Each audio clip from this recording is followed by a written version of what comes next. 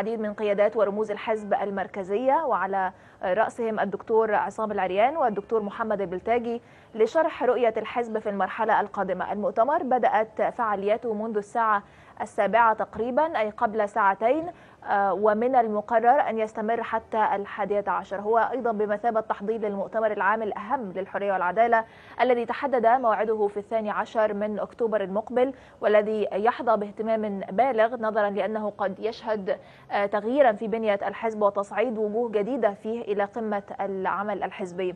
حيث سيتم انتخاب رئيس جديد للحزب بدلا من الدكتور محمد مرسي وكذلك أعضاء جدد لهيئته العليا. كانت الهيئة العليا للحزب عقدت اجتماعا صباح اليوم بمقره في شارع منصور بوسط القاهرة وتم تصعيد الدكتور عمرو دراج رئيس لجنة العلاقات الخارجية أمين محافظة الجيزة والعضو سهام الجمل إلى عضوية المكتب التنفيذي للحزب دون اللجوء إلى إجراء انتخابات. قالت مصادر من يعني لبعض الصحف أن تشكيل المكتب التنفيذي للحرية والعدالة أسفر عن مفاجأة حيث احتفظ كل من المهندس سعد الحسيني محافظ كفر الشيخ والدكتور أسامة ياسين وزير الشباب بعضويتهما في المكتب رغم إعلان الحزب من قبل أن منصبيهما سيخلوان نظرا لأنهما يشغلان مناصب تنفيذية بالدولة. نتابع مع ضيفنا في الاستوديو الأستاذ علاء النادي الباحث المتخصص في شؤون الأحزاب الإسلامية اجتماع ومؤتمر الحرية والعدالة اليوم. أهلا بك. أهلا بك. أستاذ علاء بداية أسألك يعني من واقع ما تابعناه اليوم بعد تصعيد الدكتور عمرو دراج إلى عضوية المكتب التنفيذي بدلا من الدكتور محمد مرسي السؤال بطبيعة الحال لماذا تم استكمال المكتب التنفيذي بهذه الطريقة دون اللجوء إلى الطريق الطبيعي وهو الانتخابات؟ وهذا السؤال إشكالية في حد ذاته. ربما أحد الإجابات أنه الانتخابات الماضية كان أعلى الأصوات فيها الدكتور عمرو دراج. وبالتالي لم يرغب الحزب في إجراء انتخابات. لكن أنا في كل الأحوال أرى أن هذا ما كان يجب أن يكون. كان يجب أن تتم انتخابات. ويصعد الدكتور عمرو دراج مرة أخرى عن طريق الانتخابات. أما أن تحتسب لأنه حاز على أعلى الأصوات في انتخابات المكتب التنفيذي للدورة الماضية ومن ثم تم تصعيده تلقائيا. فهذا الأمر حتى اثار شكوك لدى البعض حول الوضعية المحتملة للدكتور عمرو دراج في المستقبل. سنأتي إلى هذه النقطة لاحقا ولكن نحن نتحدث أيضا عن باقي الأسماء. يعني تم تصعيد أسماء أخرى دون اللجوء أيضا للانتخابات. من وجهة نظرك لماذا لجأ حزب الحرية والعدالة إلى ذلك؟ وجهة نظر أن الحزب الانتخابات بحد ذاتها ربما تثير إشكاليات داخل الحزب وهو لا يريد مزيد هو يريد أن تمر هذه المرحلة بسلاسة وسلامة ويجهز نفسه لخوض استحقاق انتخابي هو الأخطر بالنسبة له. فلا يريد أن تفتح صراعات التنافس الانتخابي تنافسيه وإشكالية داخل الحزب. ومن ثم أراد هذا الخيار لكن هو بالمقابل طرح أيضا علامة استفهام كبيرة إذا إذا كان هناك حرص على تعويض المقعد الشاغر للدكتور محمد مرسي فبالتبعية كان هناك قرار للحزب بأن يتم الأشخاص الذين يشغلون مناصب تنفيذية يتم تفريغهم فلماذا تم الإبقاء على السعد الحسيني المهندس سعد الحسيني والدكتور أسامة ياسين يعني لماذا؟ علامة استفهام كبيرة م. تفسيري أحد والذي أميل إلى اعتقاد أنه صواب أن الحزب يريد أن يحافظ على تركيبة مع... تركيبة معينة تحقق رؤية الجماعة بالأساس بأن يظل الحزب تحت ما يسمى الضبط وال وعدم فتحه على احتمالات أن يخرج عن المسار ربما ومن ثم هذه التركيبة هي التركيبة التي ربما يراها الكثيرين هل ممكن أن نتحدث عن هذه النقطة بوضوح أكثر؟ الدكتور يعني ما هي الدكتور هذا المهندس سعد الحسيني معروف إن هو من ما يسمى الجناح التقليدي أو المحافظة. وربما والدكتور اسامه ياسين تنظيمي ب ب من الطراز الفريد داخل الجماعة. وهذه التركيبة هي التركيبة التي يراد لها أن تتحكم وتسيطر على البنية الحزبية. طب ولكن اذا إذا الحزب يقول أن هذه الأسماء التي تم تصعيدها هي كانت في الانتخابات كانت الأعلى في الانتخابات. اذا لماذا التخوف اذا مسألة الانتخابات داخل الحرية والعدالة تحديدا والأحزاب الإسلامية يجب النظر إليها في ضوء أنه هناك وهم اسمه استقلالية الحزب عن الجماعة، ليس هناك استقلالية للحزب عن الجماعة، لا في لا لا في النور والدعوة السلفية ولا في الحرية والعدالة والإخوان المسلمين. آتي إلى هذه النقطة ولكن أذهب الآن إلى دكتور عمرو دراج الذي تم تصعيده اليوم إلى عضوية المكتب التنفيذي بدلا من الدكتور محمد مرسي، دكتور عمرو أهلا بك معنا. أهلا وسهلا فندم. بداية مبروك.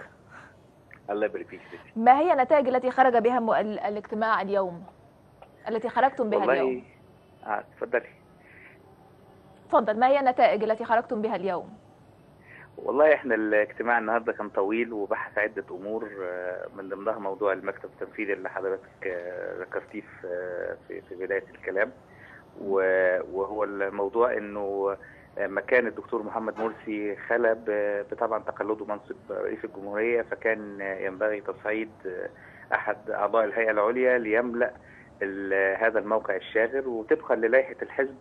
فإحنا الانتخابات اللي كنا أجريناها للمكتب التنفيذي منذ عدة شهور كانت اسفرت إنه أنا كان عندي أعلى الأصوات آه، التالية يعني للناس اللي اختيرت وبالتالي يصعد من حصل على أعلى الأصوات ويستكمل الفترة بتاعة الشخص اللي ترك اللي هو دكتور مرسي في هذه الحالة. آه، أيضا آه، تم آه، مناقشة آه، يعني تحديد موعد المؤتمر العام الخاص بالنسبة للحزب. آه، مؤتمر هو مؤتمر عام لكن هو خاص فقط بانتخاب آه، رئيس آه، للحزب بدلا من الدكتور محمد مرسي.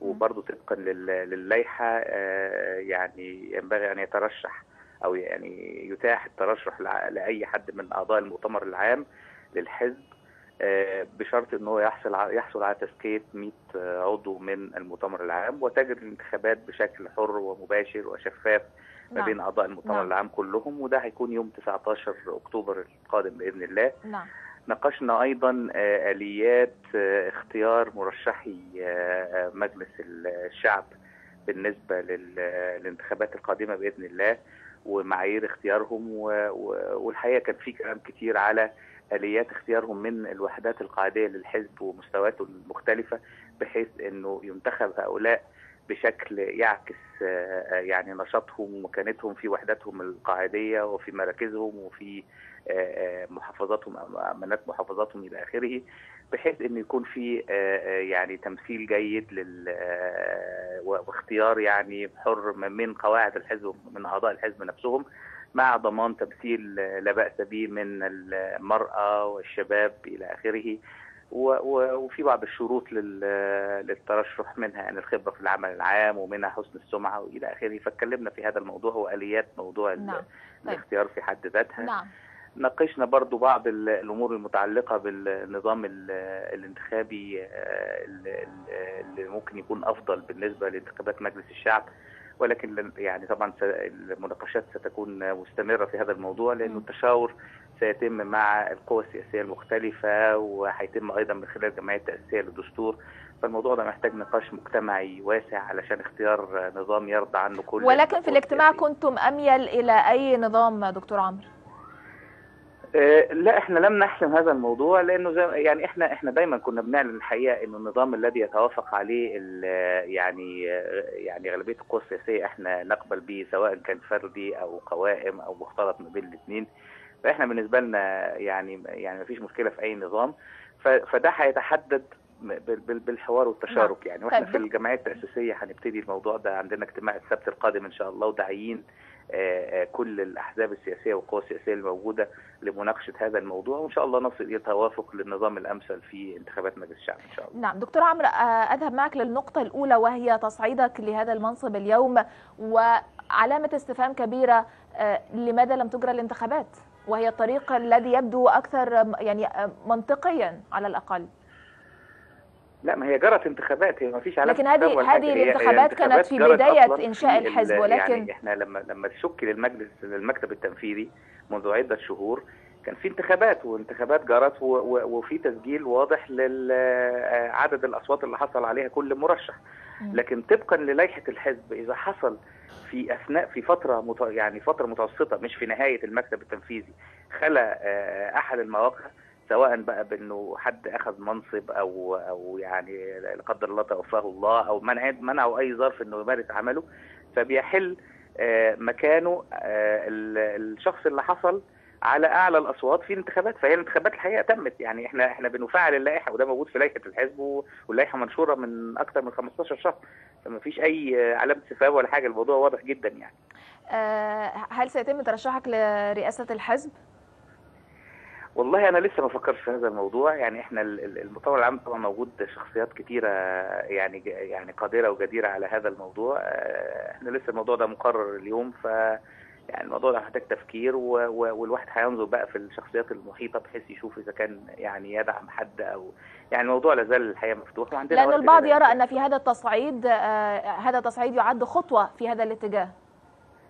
أنا قلت لحضرتك إنه التصعيد ده جاء يعني هو متوافق مع الأصوات اللي أنا حصلت عليها في الانتخابات السابقة. لا يعني لا وبالضروره مش بالضرورة على فكرة الواحد لازم يكون عضو في المكتب التنفيذي علشان آه، يدخل انتخابات رئاسة الحزب.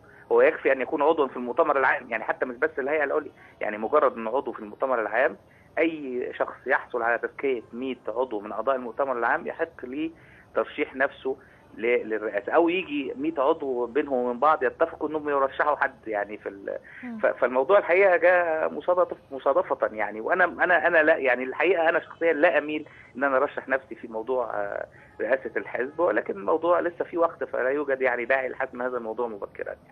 دكتور عمرو دراج أشكرك جزيل أشكركم طبعا عبر الهاتف. أشكرك جزيل الشكر. عودي إليك أستاذ علاء. ويبدو أنه لا يوجد علامة استفهام ولا حاجة أنه يعني أتى في في, في يعني في سياق العادي من. وجهة نظر دك- لا، دكتور عمرو. لا لا لا في علامة استفهام آه، ال- الحزب مر باختبارات سياسية كثيرة الفترة الماضية وربما قناعات الناس كانت تتغير. يعني ربما الدكتور عمرو حصل على أعلى الأصوات في في ظروف مختلفة. فربما لو جرت انتخابات الآن لا يحصل على نفس عدد الأصوات التي أخذها. وبعدين الدكتور عمرو نفسه بيقول الكلام بيقول إنه واللي أخذ منصب مو- موقعه يبقى شاغل في المكتب التنفيذي. وده السؤال طب ما هو ال- المهندس سعد الحسيني اخذ منصب تنفيذي ودكتور أسامة ياسين اخذ منصب. تنفيذي. وبعدين الدكتور مرسي الموقع الشاغر الموقع ده شاغر بقاله مش النهارده ولا امبارح. الموقع ده بقاله شاغر من شهور. فليه في هذا التوقيت بالذات تم البحث في شغل هذا المكان الشاغر؟ أعضاء المكتب التنفيذي 12 وب- ب- وما كانوش ال 12 مكتملين بسبب الدكتور محمد مرسي والدكتور الكتاتني فكانوا فكان من الممكن لو لو بهذا المعنى إنه في الشهور اللي فاتت المكتب يجتمع والهيئة العليا تجتمع ويشغلوا هذا هذا الموقع. إنما في هذا التوقيت بالذات يبقى لا يعني علامات الاستفهام موضوعية ويحق لل أن تصار. دعنا نتحدث عن ما خرج به ال- الاجتماع اليوم وما سرده أيضا دكتور عمرو دراج. آه، كيف ترى ما خرج به المؤتمر اليوم أو الاجتماع؟ أنا بعتقد إن المكتب التنفيذي كان اهتمامه الأكبر بال بالاستعداد للانتخابات القادمة أكثر من ال- الكلام العام اللي بي- اللي بيقال والتحالفات الانتخابية والقانون الانتخابي. هذا أظن أكثر من مخ... أكثر الأشياء التي استهلكت النقاش داخل داخل المكتب التنفيذي. وال وال والاستحقاق الأهم اللي بيتم التحضير له هو المؤتمر العام الذي سينتخب رئيس الحزب. لأنه هذا الذي سوف يعطي مؤشر هل الجماعة في مؤشرات جنينية نحو إثبات استقلاليتها عن الحزب نحو استقلاليته عن الجماعة ولا هيتولى الجناح اللي البعض بي بيؤكد و وده يجعلني ما أسألك يعني من شعور يعني من وجهة نظرك أنت الخاصة آه، ما مدى استقلالية الجماعة عن الحزب؟ الجماعة غير مستقلة عن الحزب. هذا هذا يعني آه، وبعدين آه، كل الشواهد بتؤكد هذا يعني حتى في الاستحقاقات الكبرى حينما أراد الدكتور آه، مرسي أن يترشح حينما ترشح ال- المهندس خيرت الشاطر كل هذا كانت آه، ال- القيادات الجماعة هي التي تتبوأ المشهد السياسي هي التي تتحدث بلسان الحزب. ليس هناك أي مؤشرات دالة على استقلال الحزب إلى الآن. مم. وأنا أعتقد إنه آه، حتى أعضاء الحزب في الأطر الحزبية يؤمنون بهذا يعني ما عندهمش إشكالية إن هم مقتنعين. إنما هي الإشكالية عند الجماعه إن يجب أن يكون في إطار من الشفافية. هل هي اختارت أي نسخ في تجربة علاقة الجماعة بالحزب عند الإسلاميين وعندها هي في أقطار مختلفة التجربة الأردنية الجزائرية اليمنية التجربة المغربية اللي بيعتبرها البعض الموسى ولا عندها تجربة خاصة بها إيه هي مل- ملامحها؟ إنما إلى الآن لا أحد يستطيع. يعني من الذي يرسم سياسة الحزب؟ من الذي يقرر التحالفات الانتخابية؟ لا أحد يستطيع أن يقول إن الحزب مفردي. هذا هذا الكلام لا يصدقه أحد على الإطلاق. الحزب آه، حتى التعبير الشائع هو ذو دلالة الذراع السياسي لجماعة الإخوان المسلمين. ما يعني أنه ليس له أي كينونة مستقلة ولا يستطيع أن يتخذ قرارات بشكل وخاصة القرارات هذه هي وظيفته أن يكون ذراعا آه، سياسيا للجماعة.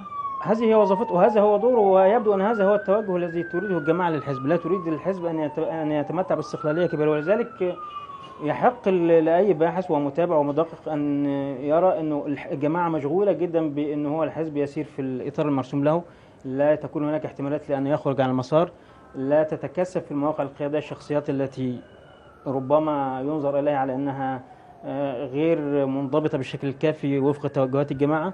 ولذلك آه، المؤتمر العام هو آه، هيكون دلالة كاشفه جدا في هذا في هذا الإطار. آه، معروف إن الشخصيات التي سيرى البعض أنها تمثل إرهاصة في طريق الاستقلالية وه- وليست كافية نعم. فهنا الدكتور ال- العصام العرياني والدكتور البرتاجي نعم. أما إذا ذهبنا للدكتور الكتاتني أو حسين إبراهيم أو الدكتور عمرو دراج فهتبقى الصورة واضحة الدنيا رايحة فين يعني. طب أعود لحضرتك لاستكمال باقي التفاصيل ولكن أذهب الآن إلى الزميل مجاهد شرارة حيث هو الآن في آه، آه، المؤتمر السنوي العام لحزب الحرية والعدالة ليطلعنا على أجواء المؤتمر. إليك مجاهد.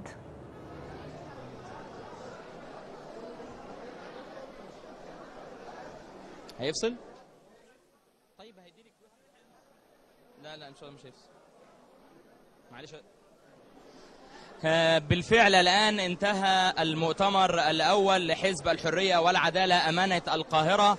انتهى المؤتمر بالتوصيات التي ألقاها الدكتور محمد البلتاجي الأمين العام لمحافظة القاهرة والتي تحدد استراتيجية الحزب في الفترة المقبلة سواء من العمل على المشاريع التي أعلن عنها الأستاذ عادل حامد الأمين المساعد سواء الخاص بتعليم أساس النهضة وكذلك بفكرة اسطوانات البوتاجاز. إلى جانب مشروع اعرف دستورك الذي سينزلون به إلى الشارع للتمهيد للاستفتاء على الدستور القادم والمشاركة الشعبية آه، بهذا المؤتمر. حضر المؤتمر أكثر من 6500 عضو للحزب الحرية والعدالة آه، وتم عرض فيديو خاص بهذا الحزب وما قام به وبالثورة. وتعالت الأصوات عندما تم عرض آه، أجزاء من حديث عمر سليمان الذي أعلن فيه آه، تخلي الرئيس المخلوع مبارك عن رئاسة الجمهورية وكذلك إعلان فوز الدكتور الكتاتني برئاسة مجلس الشعب وكذلك بفوز الدكتور محمد مرسي. رئيسا للجمهورية. تعددت الأحاديث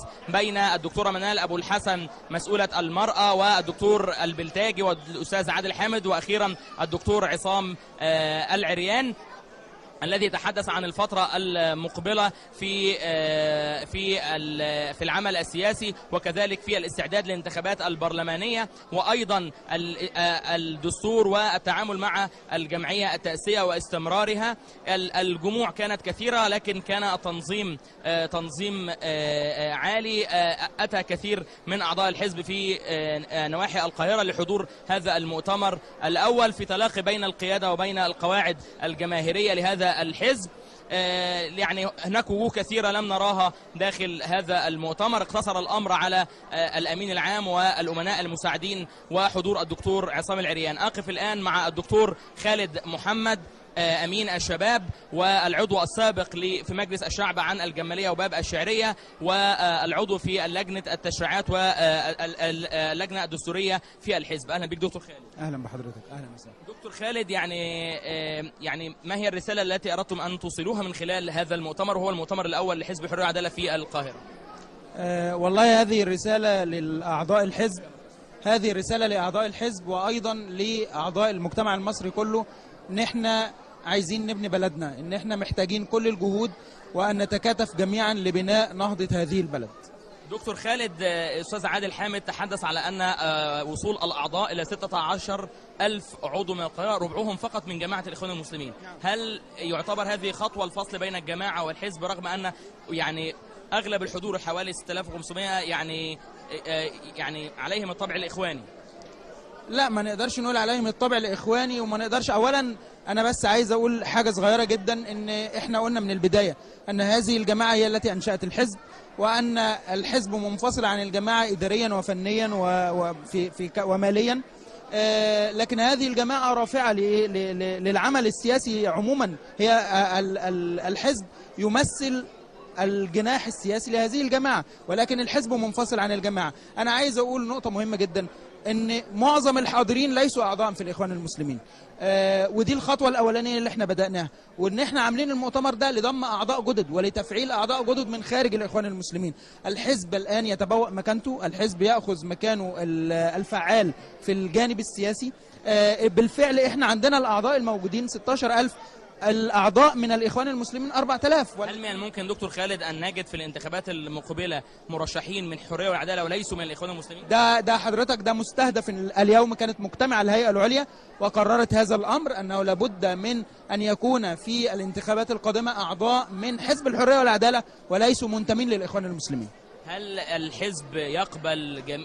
أعضاء كانوا سابقين في الحزب الوطني؟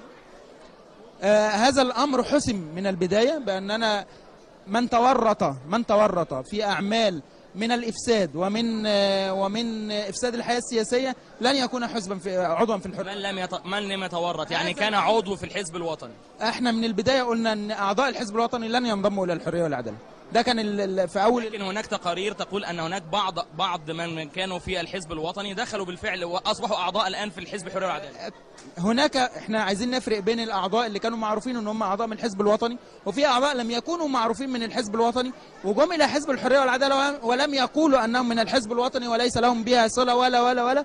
وقد يكون دخل عضو عن طريق الخطأ لكن هذا أمر عندنا في الحزب مرفوض وليس هناك أي نية لإدخال أي عضو من أعضاء الحزب الوطني إلى حزب الحرية والعدالة مطلقا. متى سينفصل تماما الحزب عن م- أنا يعني السؤال ده سؤال انفصال الحزب عن الجماعة والحزب فعليا هو منفصل عن الجماعة. الحزب فعليا منفصل عن الجماعة ولكن الحزب والجماعة مشتركين في مرجعية إسلامية واحدة.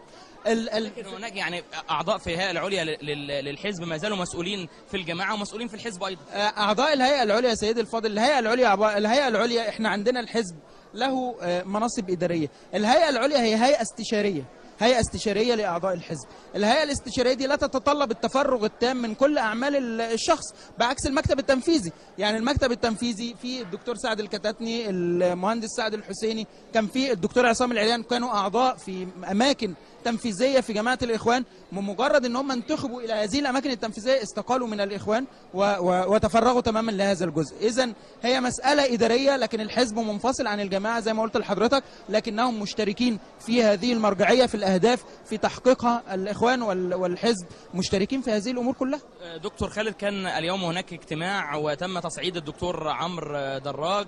وعضو آخر يعني ما- ما ما حدث يعني توضيح ما حدث. هو حضرتك اللائحه اللائحة بتنص على إن في حالة خلو آه، عضو من أعضاء المكتب التنفيذي؟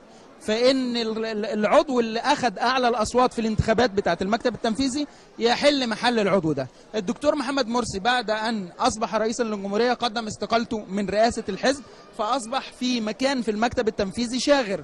فالإجراء الطبيعي إن اللي اللائحة بتقول عليه يحل محله أعلى الأصوات أعلى الأعضاء اصواتا. فالدكتور عمرو دراج هو أعلى الأصوات في آه، في المنتخبين كانوا لل- للمكتب التنفيذي. فحل محل الدكتور محمد مرسي فدخل عضو في المكتب التنفيذي. هل تم الحديث اليوم حول آه، الترشيح للرئاسة؟ وهل وضعت أسماء آه، يعني مرشحة لرئاسة الحزب الفترة المقبلة؟ وأنتم تستعدون للمؤتمر العام في يوم 19 أكتوبر المقبل؟ المؤتمر العام في 19 أكتوبر إجراءات الترشح ستبدأ وسيفتح باب الترشح لمن أراد الترشح وفقا للائحة وسيتقدم المرشحين وفقا للائحة بشروط اللائحة وبعد ذلك تجري الانتخابات من المؤتمر العام يوم 19 يعني الكلام الذي قيل عن الدكتور عصام العريان والدكتور عمرو دراج وآخرين. كلها استنتاجات اعلاميه ليس هناك لم يتم أي إجراء إلى الآن بفتح باب الترشيح ولا المرشحين ولا نعلم من سيرشح نفسه لرئاسة الحزب من غيره. العدد كبير الهيئة العليا كلها من حقهم إن هم آه، آه، إذا استوفى الشروط بتاعه اللائحة يتقدم عشان يتقدم لرئاسة الحزب فالأمر مفتوح ولسه ما فيش أي حاجة حسمت من هذا الشكل. لو تحدثنا عن التحالفات آه، السياسية الحالية هل سيدخل حزب الحرية والعدالة في أي تحالفات مقبلة سواء تحالف سياسي أو تحالف انتخابي؟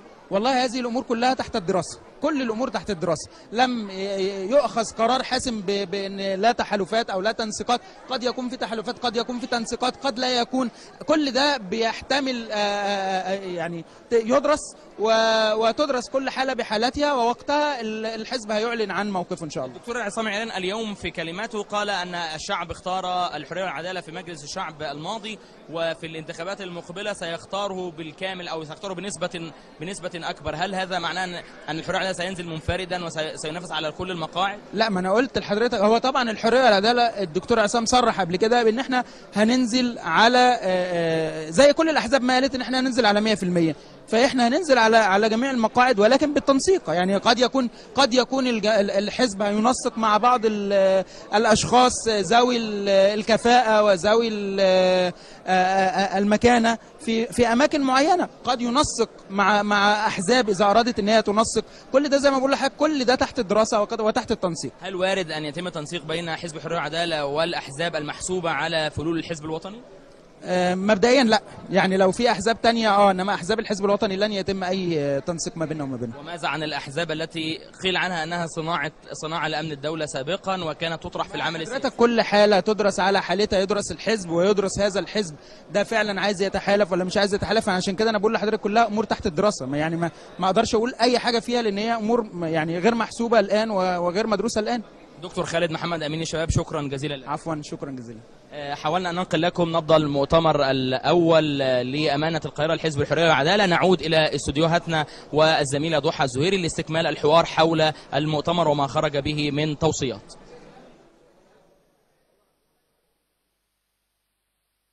أشكرك زميل مجاهد شرارة وأعود إلى ضيفي هنا في الاستوديو الأستاذ علاء النادي الباحث المتخصص في شؤون الأحزاب الإسلامية. أهلا بك مرة أخرى أستاذ علاء. أستكمل معك الحوار وكنا توقفنا عند أنه من وجهة نظرك الجماعة غير منفصلة عن حزب الحرية والعدالة ونحن لدينا الآن في الأذهان تجربة حزب النور. فدعنا نتحدث إذن عن أوجه الشبه والاختلاف بين حزب النور وحزب الحرية والعدالة.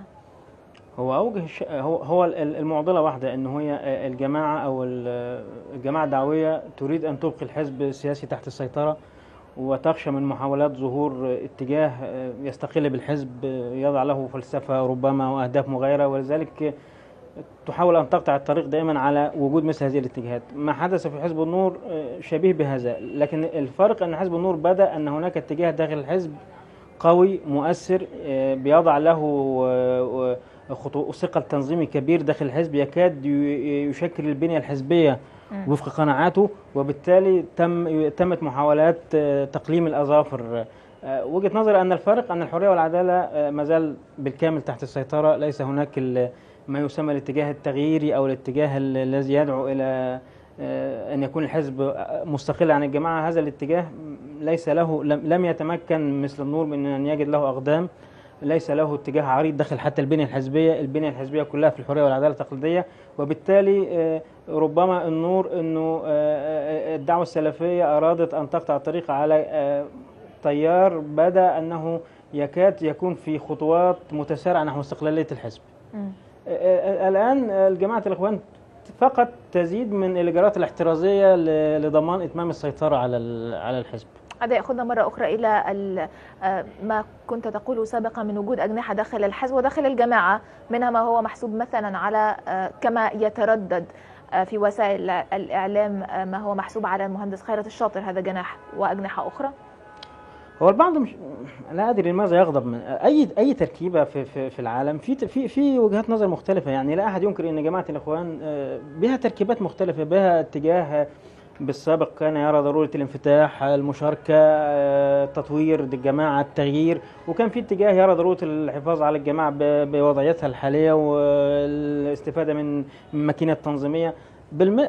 وال... ومن اسسوا الحزب هم أعضاء في الجماعه وبالتالي انتقلت نفس الرؤى. هناك ب... حتى انتقلت في... وظهرت في محكات زي اختيارات الجمعيات التأسيسية. وفي وفي الترشح للرئاسة وما رأينا صوت الدكتور البلتاجي والخطاب السياسي مختلف تماما عن خطاب بعض ال- القياديين الآخرين في الحزب وبالتالي هناك بالطبع آه، آه، بلاش نقول آه، جيوب وأجنحة عشان كلمة بتزعل نقول في رؤيتين في الحزب.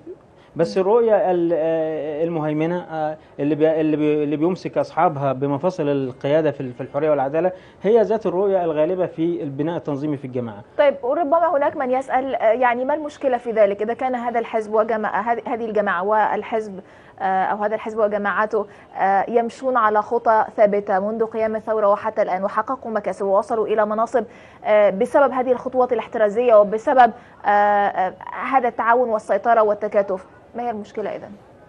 آه، رب... هذه مشكلة ربما تخص أصحاب الرؤى داخل الحزب يعني كل آه، يستطيع أص- أصحاب الرؤى ال- الأكثر تغييرية انفتاحية ما ما إن هم لو استطاعوا يتكيفوا ويتوائموا ولا يروا في ذلك ضرر هذه أمور تخص الحزب لكن المحلل عليه أن يقرأ الصورة صورة. المشهد السياسي هناك رؤى وهناك اختلافات وهذا أيضا في ظل الحراك السياسي اللي بتشوفه مصر لا بيؤثر على على المشهد العام في مصر إنه الآن لم تعد الجماعة كالسابق. الآن الجماعه انبثق عنها حزب سياسي آه، وصل من خلالها رئيس الحزب إلى أعلى موقع في في جمهورية مصر العربية. وبالتالي كل هذه الأمور بالنهاية ليست بالبساطة التي يتخيلها البعض لا تؤثر على المشهد السياسي العام في مصر. إنما آه، إنه البعض ب... طيب وصول آه، يعني الدكتور محمد مرسي إلى رئاسة الجمهورية آم، ألا يعد ذلك إشارة أو يعني بالنسبة لمن هم في الحزب أن هذه الجماعة قوية إلى هذا الحد؟ في قراءتين في هذا المشهد. في قراءة بتقول إنه ليست قوية إلى هذا الحد والدليل أنه الجماعة كانت لديها سقف توقعات آه، مخت... آه، لدرجة أن في آه، اليوم الأول في في فرز في الفرز في الانتخابات الجولة الأولى وليست الإعادة كان هناك توقعات بأن الدكتور مرسي يحسم من الجولة الأولى. ثم فوجئوا إنه آه، لا النسبة 25 وأزيد قليلا ثم فوجئوا إنه ما- الحزب الدكتور مرسي داخل اعاده مع مرشح اللي هم كانوا بيعتبروا إن الفلول تبخروا من الساحة. ثم لما جرت جولة الاعاده وبعد جهد جهيد وتحالفات وانضمام قوى القوى الإسلامية لم يكن الفرق بذلك الفرق الشاسع وحتى البعض بيقرأ إنه ليست مهارة الجماعة والتنظيم في وحدها هي التي ساهمت في كسب المعركة. المجلس العسكري أخطأ أخطاء. ساهمت من حيث لا يدري في آه، زيادة حظوظ الجماعة. يعني حل مجلس الشعب اثار حفيظة الرأي العام. وبالتالي كتلة تصويتيه ف- فليس لا يجب أن تقرأ التجربة ثم إن البعض بي- بيطالب بالتريث لأنه وصول الدكتور مرسي في حد ذاته ليس نهاية المطاف ودليل على نجاح التجربة. التحدي الأصعب الذي يواجه الحزب الآن. تقديم الحلول للناس تقديم ال- الوفاء بالوعود التي قطعت. يعني الآن الحزب عليه أن يعمل كحزب سياسي. كحزب يدير دولة الخطاب الحزب الآن لم يصل بعض إلى أنه حزب يدير دولة آه، وبدأ الوقوع في التناقضات يعني حضرتك لما تتكلمي الآن ما هي ردود الحزب على أزمة مثلا آه، السولار والبنزين في الحالة المصرية. هل يعتبر المؤتمر هذا المؤتمر زي كشف حساب لما تم إنجازه؟ لا أنا وجهة نظري المؤتمر مش كده. المؤتمر آه، كان في فترة كمون للمرحلة اللي فاتت انتظارا لعودة المجلس المنحل مرة أخرى مم. فلما بدأ أن عودة المجلس لم تعد ممكنة وهناك حراك سياسي وأحزاب تتشكل وتتح وتح وتتآلف وتتحالف أصبح الحزب أراد أن يستفيق بسرعة يلملم أوراق ويستعد ي- يزيد من فعاليات وترويج ونشاطه في ال- في الفضاء العام لأنه ال- شعروا أن الاستحقاق استحقاق الانتخاب القادم خطير وخاصة أنه الأزمات التي تحيق بالمجتمع المصري تقلق الحزب كثيرا لا يملك أجوبة مقنعة نعم. للرأي العام وبالتالي لا نستطيع أن نقول أن اجتماع في الصباح ومؤتمر في المساء آه، لم يأتي عن طريق المصادفة ولكن المؤتمر جاء ربما امتدادا لل...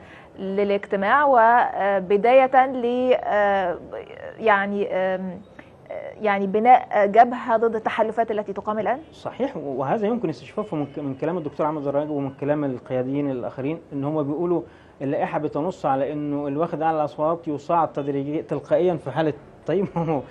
ما كانش في قصدي عوائق تحول دون في الفترة اللي فاتت دون إن هو آه، تلقائيا يصعد الدكتور عمرو دراج ليه استمرينا ثلاث قرابة ثلاث شهور؟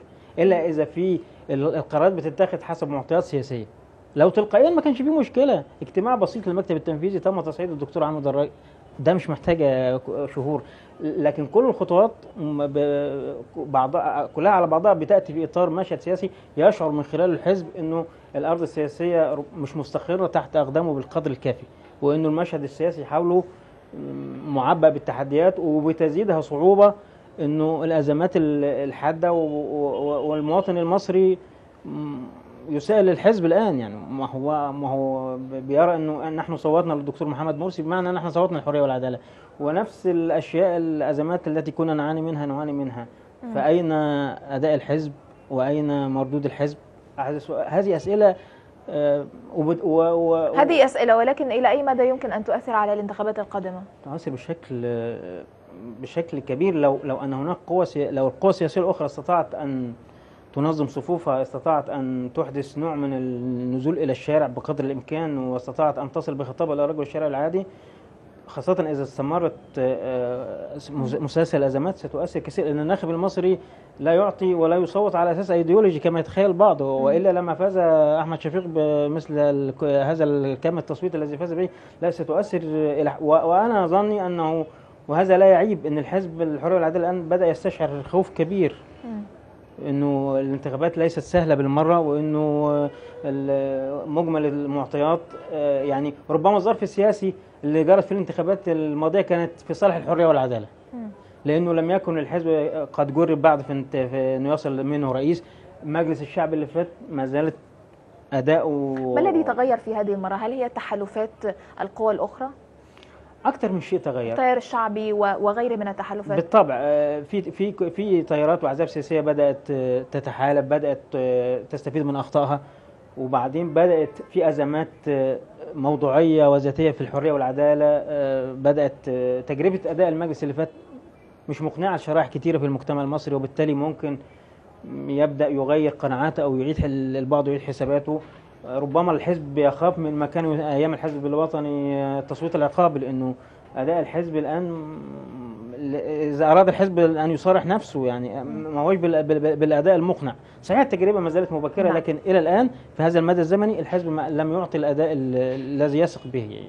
نعم الأستاذ علاء النادي الباحث المتخصص في شؤون الأحزاب الإسلامية أشكرك جزيل الشكر.